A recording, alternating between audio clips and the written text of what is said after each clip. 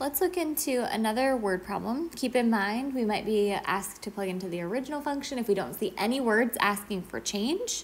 If it says average change in this problem, I'm going to use the slope formula, f of b minus f of a over b minus a. Or if we're plugging into instantaneous rate of change, I'm going to take the derivative and plug in the value for t that I'm asked for. So for this, we have a vasodilator is prescribed to patients with blood vessels that have become too constricted. The cross-sectional area A, so there's one of our units here, of blood vessels T hours after vasodilator is administered is given by this A of T equals 0.02 T squared, and this is in square centimeters um, for one to five hours. So we're given that interval from one to five. That just means that if you take the medicine, it's not going to work forever. So this is very common common with medicine, right? If you woke up yesterday with a headache and you took a Tylenol, you could still get a headache today because that Tylenol has worn off. So just like with this vasodilator, they can take it. It's going to keep working between one and five hours, and then after that, you probably have to reevaluate and make sure you don't either have to take it again or see if you're good to go. But that's what that one um, to five interval here is is talking about. It's not working forever. So let's just pause before we even what, read what the question is. We want to figure out what are we plugging in and what are we getting out. So we have two things. We have T hours and area in square centimeters. So you plug in how many hours it's been since you've given somebody medicine and you get out the area in centimeters squared to make sure that their blood vessels are still open and plugging, pumping blood so that they're doing okay. So it says find the average rate of change of the cross-sectional area between one and three hours.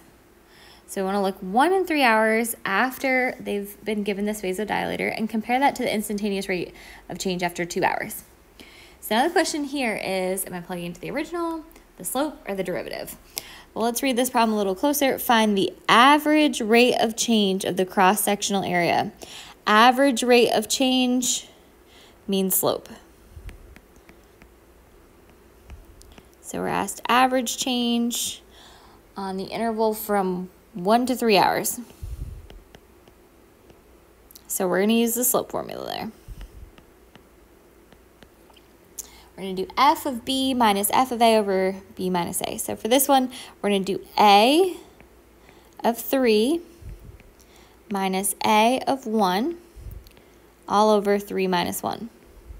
And we're plugging in to this formula here for a of t, which is 0.02 t squared. So I can grab my calculator and do this on the side. You don't really have to write this out. I'm just showing you what I'm plugging in. I'm plugging into this original function, 0.02 t squared. So I'm going to do 0.02. My t value is 3 getting squared for the first piece, which is 0.18. So I have 0.18 here for a of 3 minus a of 1. I'm going to grab my calculator, plug in a of 1. If I need it, it's 0.02 times 1 squared though, which 1 squared is 1 times 0.02 is going to say 0.02. All over 3 minus 1 is a 2-hour interval.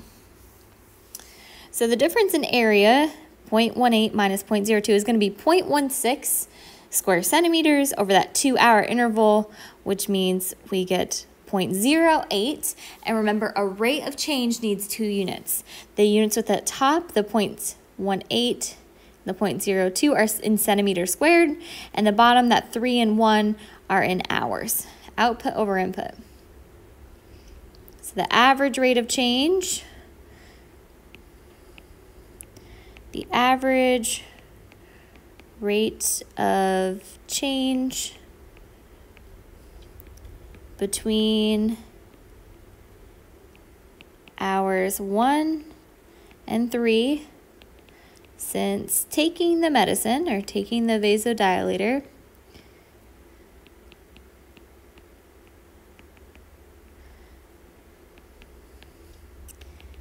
is what would we say about what's happening? We would say that the average rate of change is increasing the blood vessels by 0.08 centimeters squared per hour.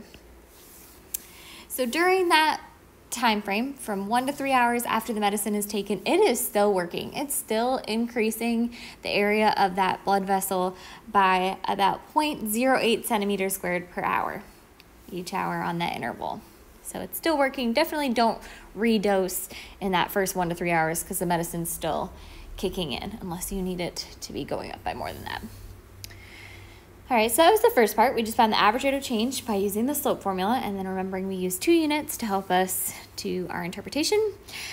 The next part says compare that to the instantaneous rate of change after two hours. So whenever we see instantaneous rate of change, we are thinking derivative, which is actually faster. So I'm happy to do instant change. So our derivative